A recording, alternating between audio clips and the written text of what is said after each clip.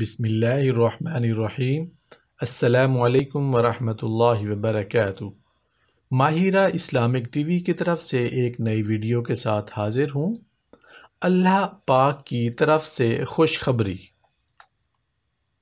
حضرت ابو حریرہ رضی اللہ عنہ فرماتے ہیں کہ ہمارے پیارے آقا حضرت محمد صلی اللہ علیہ وآلہ وسلم نے ایک بیمار کی عیادت کی۔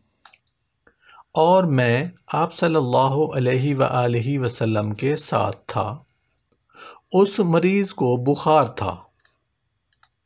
رسول اللہ صلی اللہ علیہ وآلہ وسلم نے ارشاد فرمایا، خوشخبری سنو۔ اللہ تعالیٰ فرماتے ہیں، بخار میری آگ ہے اور میں اسے اپنے مومن بندہ پر دنیا میں اس لیے مسلط کرتا ہوں کہ یہ آخرت کی آگ کا متبادل ہو جائے۔ یعنی مومن بندہ آخرت کی آگ سے محفوظ اور معمون رہے۔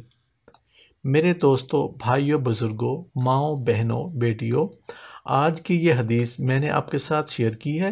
آپ نے ثواب کی نیت سے اپنے دوستوں کے ساتھ اس حدیث کو ضرور شیئر کرنا ہے کہ اللہ پاک کی طرف سے خوشخبری کہ انسان کو جو بخار ہوتا ہے، بیمار ہوتا ہے، تکلیف ہوتی ہے، دکھ ہوتا ہے یا کسی پریشانی میں مبتلا ہوتا ہے، تو اللہ پاک اس کو دنیا کے اندر اس چیز میں مبتلا کر کے آخرت کی جو مشکل گھڑی ہے، مشکل وقت ہے، آگ ہے اس سے محفوظ کر لیتے ہیں، بچا لیتے ہیں۔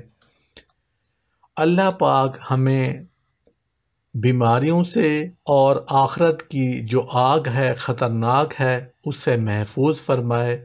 آمین۔ یا رب العالمین۔ السلام علیکم ورحمۃ اللہ وبرکاتہ۔